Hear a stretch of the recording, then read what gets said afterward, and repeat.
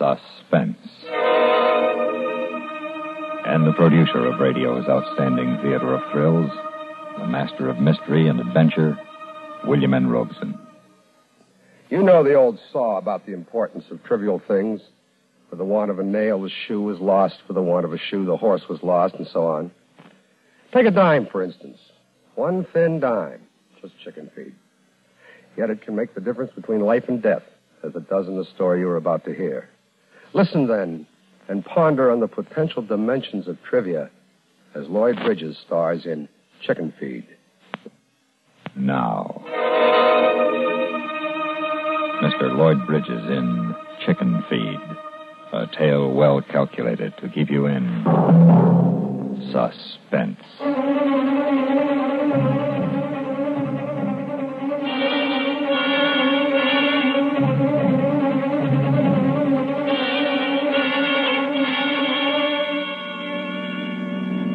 Right, it was a silly thing to fight over, I admit, but there it was. A dime. A measly thin dime. Chicken feed. Of course, that was only the beginning. You see, Junior asked for a dime, and I flipped it over to him. And after he left the room, Mary said I shouldn't spoil the kid. It was time he learned the value of money. And I said, well, great Scott, if I couldn't give my own child a dime without her jumping down my throat. Oh, you know, how those things get going. You keep saying things you shouldn't, and she lashes out with an answer, and before you know it, you've stormed out of the house and you're taking it out in the car.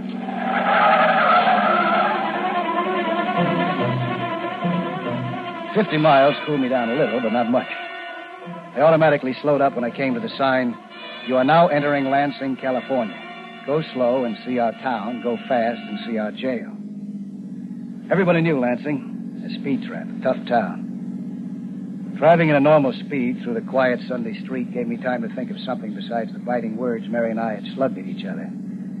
I pulled up at a little cafe next to the police station. Had a whitewashed sign in the window. Best cup of coffee in town for ten cents.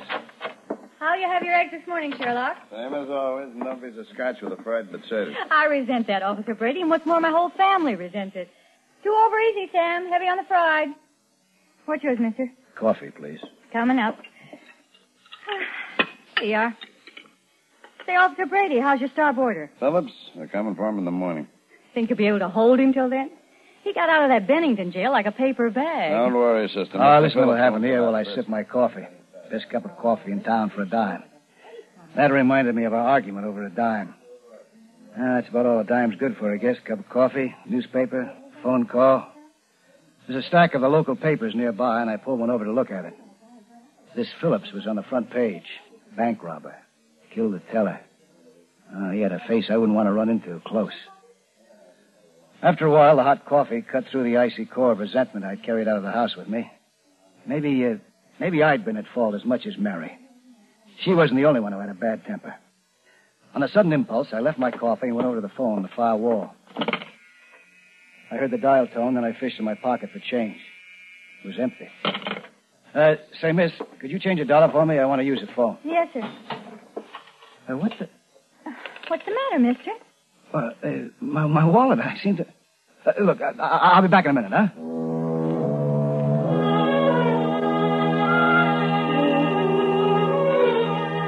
No, Mary wasn't the only one with a temper. I'd stormed out of the house without changing the contents of my pockets to my clean suit. I didn't have a dime on me, not even a nickel. I uh, rummaged in the glove compartment of the car. Mary sometimes left a coin purse. But this time, naturally, it wasn't there. I felt like a fool. And then. What seems to be the trouble, mister? Oh, hello, officer. I seem to have come off without any money. It's embarrassing. Yeah, embarrassing. Uh, I didn't realize it until I tried the phone. I, I'll, uh, well, I'll, I'll have to send that uh, girl a dime for the coffee as soon as I get back to town. You will, huh? Well, I don't know what else I can do under the circumstances. Uh, I better go inside and tell her. Hold on a minute. Huh? Where's your driver's license? it's in my wallet in San Francisco. You got any other identification? Well, there's the, uh, the registration slip in the car. That's the car. What about you? Me? Why, I just got through telling you. Officer, I- I'm Ralph Clark. Clark and Jacobs in the Hatfield building? We're, we're attorneys. Attorney. I should have a card here somewhere. You're kind of far from home to be without any dough, ain't you? Well, I, I, I came out of the house without changing the stuff into this suit. You know how it is. How'd you happen to have the keys to the car? Well, I don't take them out when, uh, when it's in the garage. Hey, you, you don't think... Where are you headed for? Well, I know it sounds funny, but nowhere, really. See, I, I had a fight with my wife, and I, I just batted out of the house to cool off. I'll tell you what, Mr. Clark, suppose we just mosey into the station house. Station house? Hey, what is this? Nothing, nothing at all. It's just next door, and you can call your way from there. I don't see why that's necessary. If you just lend me a dime, I, I could go... Well, I could go right in here and reverse the charges. Let's go. You can leave the car here. I'll take that key. Now, look here, officer. I, I, I don't get it. Move. Come on, move. All right, Jim. What you got this time? Tell you better after he makes the call. Give me the phone, will you, Ross? It's out of order. One dead half an hour ago. Did you report it? Yeah. They said they can't have a man here before tomorrow. Did you tell him this is a police station, for Pete's sake? Sure, I told him. Oh, it's not bad, though. We can get incoming calls. We still got the payphone over there. Yeah. There's the payphone, Mr. Clark. You can make your call from there. I don't have any money, remember? Oh, yeah. Okay. Here's the dime. Gee, thanks. Let me speak to your wife when you get her. Uh, this is going to sound fine, just fine. Do you think I've really tied one on? Operator, Uh, I want to call San Francisco. Geary 49978. And reverse the charges, please. thank you. Your number, please. Uh, this is uh, 460.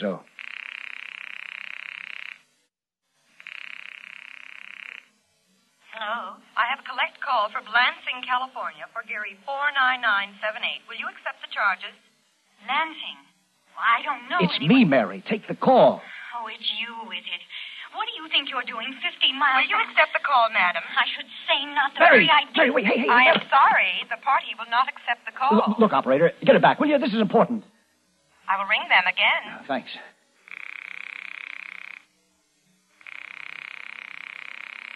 Oh, why didn't you pick up that phone? Your party does not answer. No soup, huh? Hey, they kept our dime. Well, you shouldn't have slammed it so hard. Let me have another one, will you? I'll get a hold of my partner, huh? He'll identify me. Look, we've wasted enough time. Get in there. That's the cells. Right. You're locking me up? Right again. What's the big idea? I didn't do anything. What are you charging me with? Don't have to charge you with anything. I'm holding you on suspicion. Suspicion? Suspicion of what? Defrauding the cafe, for one thing. And then I want to check that car. Do you think I stole it? It's been done. Oh, now wait. Look, if you let me. You're me phone... entitled to one call. You've had it. Oh, this is fantastic. I demand to be brought before a magistrate immediately. Are you kidding? In this town on Sunday? In the middle of dove hunting season? Oh, look here, Ma- officer. Now, if you'll let me phone my partner, he'll clear up everything. Inside.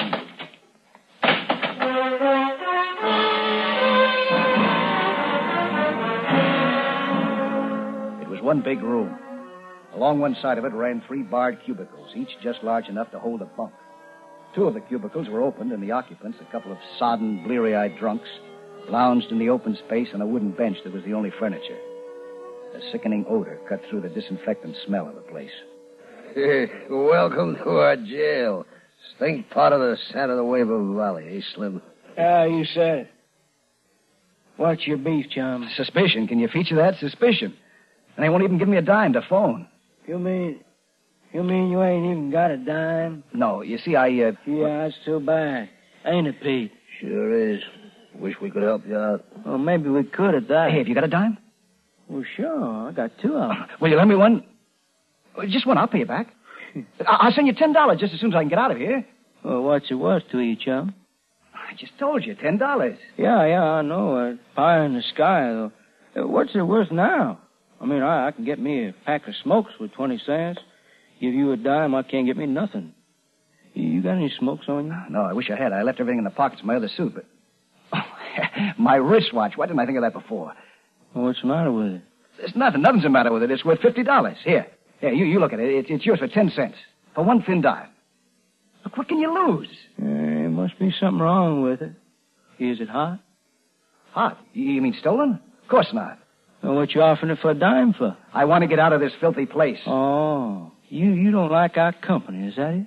if you want to put it that way, no, I don't. Hey, what, what do you think of that, Pete? That man, he don't like our company. We don't smell good to him or something. Well, now, ain't that just too bad? What do you think of that, Mr. Phillips? He don't like us. Have you got any dimes, Mr. Phillips?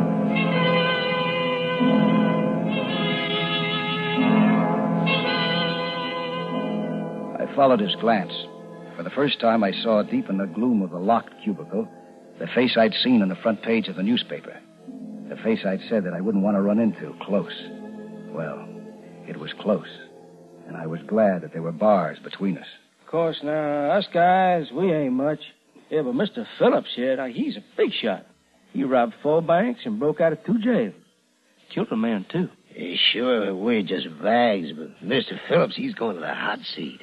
They're coming to get him and take him back to Nevada and burn him. Oh, no, no, Peter. They don't burn him in Nevada. They shoot him. Ain't that right, Mr. Phillips? Mr. Phillips don't want to talk about it. Mr. Phillips don't want to talk about nothing. Mr. Phillips ain't very sociable. Just like this stiff. Oh, now look, fellas, I didn't mean. Look, I I just meant that I wanted to get out of this jail. Here, take the watch and give me the dime, huh? Okay, now I'll tell you what. I- I'll match your foot. Match me. Yeah, a dime again the watch. Well, uh, Now, that's fair. And I got me a fair chance to get my six, and you got you a chance to get your dime free. yeah, but I'd rather. Take it or leave it. Well, all right. All right, now you leave Peter hold the watch. I'll flip the dime on the floor, and you call. Heads. Tails, I win. Hey, wait a minute. Get your foot off of it. How do you know it's tails? It's tails. Ain't it, Petey? Well, sure, it's tails, all right. Here's watch slip. Hey, what is this? Watch it, brother. You're not going to get away with this. Oh, get him, Pete. Don't. Don't. Yeah. Yeah, that'll on you. This is for kneeing me. Pete, don't. Hey, hey, what goes on Officer, these It ain't nothing. This new guy's acting. Yeah, that's it's all. just new guy. Quiet down in there. Trying to get us in trouble, huh? No, no, no. no. Look, fellas, for Oh, heaven's shut up. sake. Okay. Kangaroo. I'll be judge, you be prosecutor. Right. All right, prisoner at the bar, stand up. Oh, I said stand Oh, up. cut it out. will you? Shut up. Yeah, all right, counselor. What is the prisoner charged with? Oh, you want to this man here is a desperate criminal. He's charged with breaking into jail, insulting his fellow boarders, poor sportsmanship, and fighting. He's a very dangerous character, you wanna? Yeah. Guilty on all counts. Uh, I fine you ten cents. You know I haven't got a dime. Can't pay, huh? Well, then, uh, you can work it out. Rate of one cent a day. Yeah, first job will be to shine the court shoes. Shine your own shoes. oh, she should be like that, huh? Hold him, Slim. sure. Officer! Officer! Yeah, shut up. Officer! Pipe down in there. Come and give us something to squawk about. You hear that? Another peep out in you, you're gonna get it again. You understand? Yes. All right. Now get on them shoes. Well, I, I, I don't have. I don't have anything to shine them with. You got a coat, ain't you? Hmm. now get going.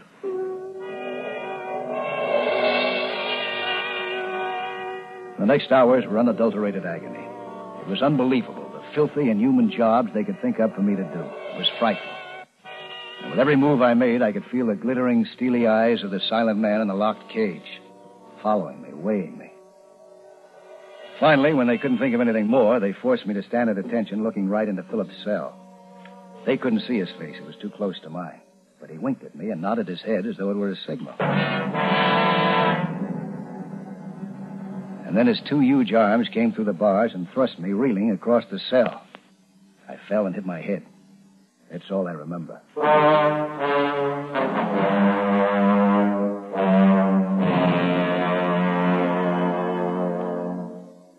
In a moment, we continue with Suspense. No parent we know has ever consciously dodged a responsibility to his children.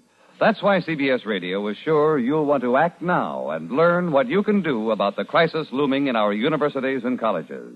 Right now, our institutions are bursting at the seams. America's high birth rate points toward an acute emergency in education in the years ahead.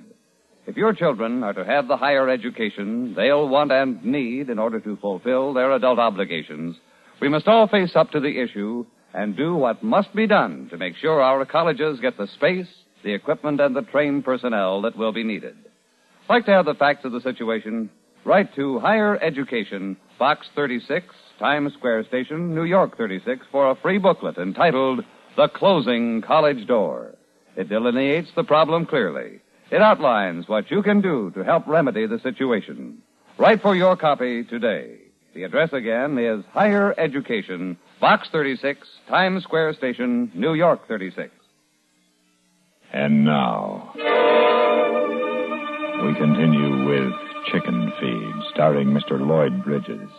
A tale well calculated to keep you in suspense. I don't know what time it was, two or three in the morning, when I felt a stealthy touch on my shoulder. I opened my eyes. I was still on the stone floor, and Phillips was bending over me, holding a revolver. I started to speak, but he clapped a hand over my mouth. Shh, you fool. You want to wake them punks. Get up quick and be quiet about it. I glanced quickly at Phillips' cell. It was open, and so was the door to the corridor. He pushed me out and locked the door behind us. In his office, bound and gagged securely to his desk chair, Sergeant Ross glared at us. The empty holster at his side told where Phillips had got his gun. Here. Which is the key to your car? Uh, this one. Okay. Take it and let's move.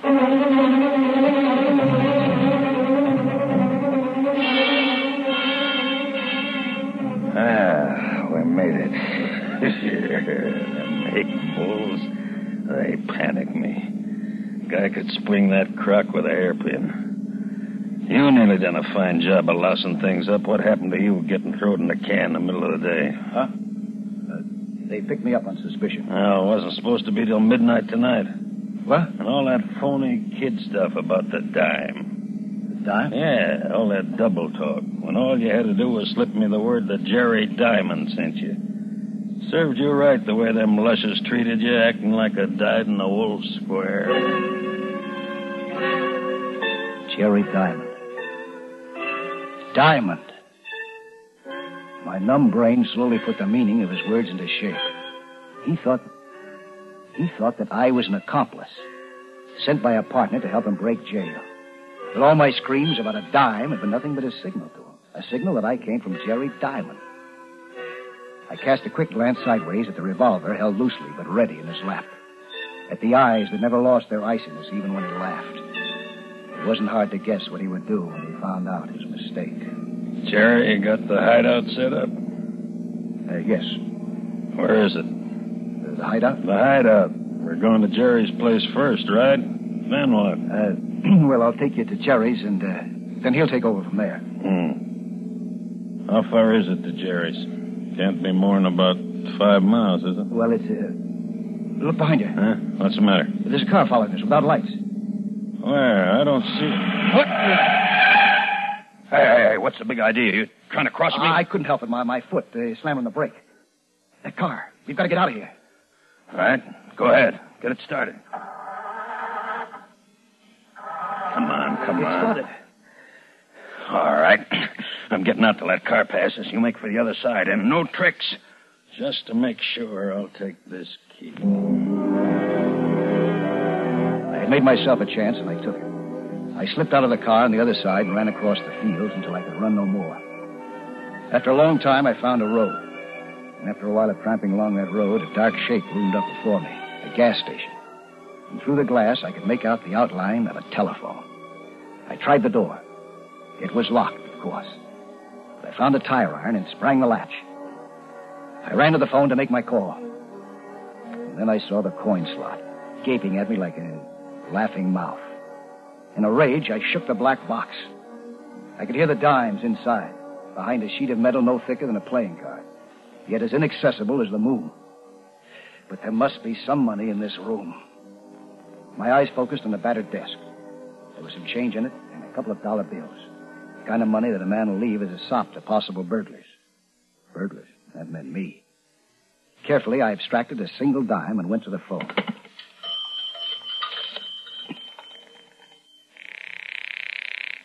Number, please. Uh, get me San Francisco. Fillmore, 33265. It's Morris Jacobs. Uh, tell him uh, this is his partner, Ralph Clark, and ask him to accept the charges. Thank you. There's an interruption on the line, and there may be a slight delay, sir. Will you hold on, or shall I ring you? Yeah, I'll hold on, but hurry, operator. It's important. One moment, please. As I waited, a glint of light pulled my eyes away from the phone. Far down the road, the headlights of a car joggled over the rise and aimed toward me. It was the first car to come by since I'd hit the road. It might be a stray, a farmer starting out before sunup, but I couldn't take the chance. Hastily, I hung up the receiver, closed the cash drawer, and snapped the lock on the door. Then I crouched beneath the desk, and not a moment too soon. Open up! Hey! I've tried to wake this character before. Sleeps like a dead man. Especially if he's back on the bottle again. We'll get him up. Hey, Jerry! Then I heard the creak of bed springs from the rear of the station. The light appeared under an inside door.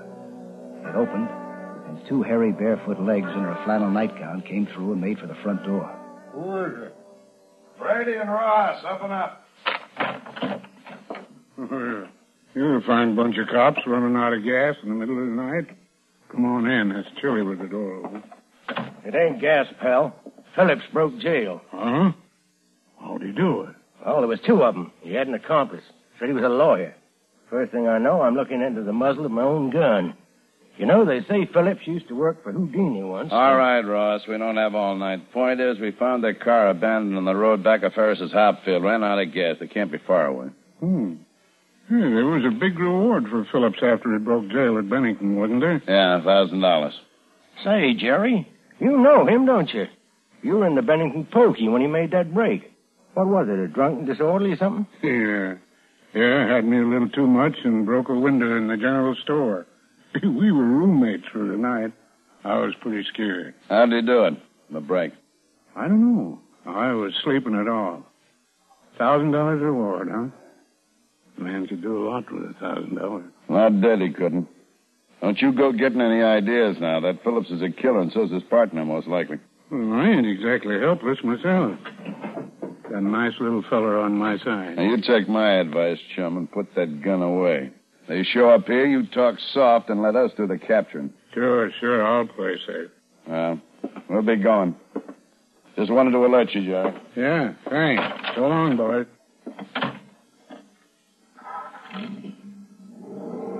All right, you. Come out from under that desk. Come on out, I say. This gun's getting mighty nervous. Now, get your hands up. Stand over there. Uh, now, now, look, mister, I... I'll do the talking.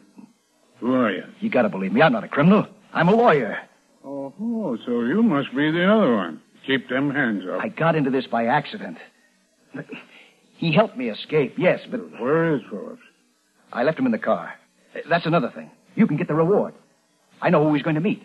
They're going to a hideout. Oh, I see. Well, who is he going to meet? Somebody named Jerry Diamond. There.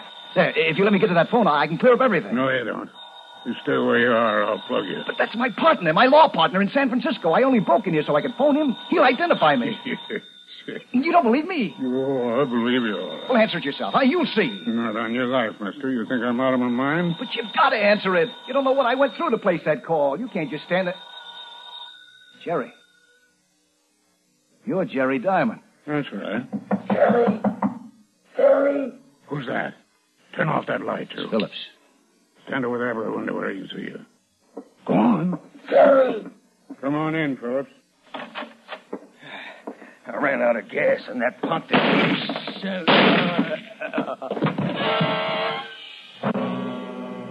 It happened so fast that for a moment I had no reaction at all. None. I just watched it. Watched Phillips holding his chest with both hands. Watched that giant body twist convulsively on the floor and then lie still. Watched Jerry bend over him and then straighten up. Then as he turned grinning, my emotion, my, my feeling came back. And what I felt was seething, overpowering rage, fury. Everything I'd been through this night was like a boiler that had to burst. Dead or alive. I just made me a thousand bucks. You foul, stinking old man. Huh? You're worse than he is. Ah, shut up. Maybe I'll get a reward for you, too. A small one. I could feel the bullet land in my side, just below the belt. The avenues of pain spread out like the cracks in a hammered window glass. But somehow, strangely, it didn't stop me. I kept moving toward him. He backed away, surprised. He was aiming for another shot when we grappled. I got the gun, and he got my throat. I. I held onto his hand that was holding the gun. I wouldn't let go. And as he fell backwards into the chair, I was on top of him. And as we threshed around there on the floor, I brought his hand up suddenly and smashed the gun into his face. And then he lay still. I listened to his heart. He was all right. He was all right. Then I realized that that I was all right. Yet he'd shot me, hit me. I should be lying there on the plank floor instead of that grotesque heap in the shapeless flannel nightgown. I felt my side where the bullet had struck. Brought my hand away. There was no blood on it. There should be blood. Touch the spot again. Fingered the contour of something small and hard and round. I pulled it out of my watch pocket. A dime. A dime. The tenth part of a dollar. All a man needed to buy a cup of coffee, to make a phone call, to pay a fine in a kangaroo court, to save his life. And I'd had it all the time. I had had it all the time.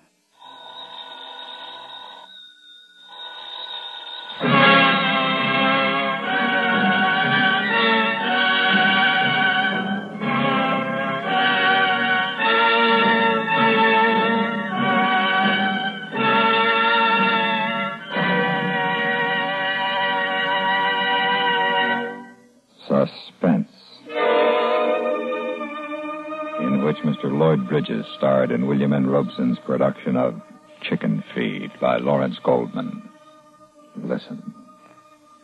Listen again next week when we bring you Francis Lederer in Escape to Death. Another tale well calculated to keep you in suspense. Supporting Mr. Bridges and Chicken Feed were Amzie Strickland, Betty Groveley, Ted DeCorsia, Lou Krugman, Jack Kruschen, Charlie Lung, Lou Merrill, and Dick LeGrand.